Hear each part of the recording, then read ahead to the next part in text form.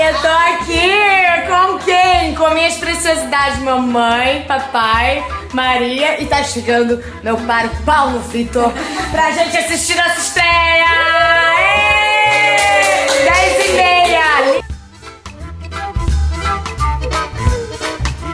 estiver em São Paulo, não tem problema, né, família? Só botar na R7 aplicativo da Record, bota no site que tá ao vivo aí, já já conectando, que não tem problema, gente. É tudo na internet. A gente é chique, não sofra. Filha, fala. O que vocês estão achando desse programa? O que que vocês esperam desse programa Dancing? Eu tô nervoso, tô ansioso. Pai de bailarina, sofre tanto quanto a bailarina. Tem hora que eu quero pegar e fazer por você pra dançar junto.